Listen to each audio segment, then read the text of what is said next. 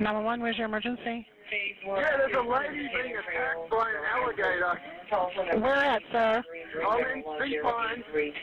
Okay, where at in Sea Pines? Number 13 of the clock course. I'm not sure what the road is.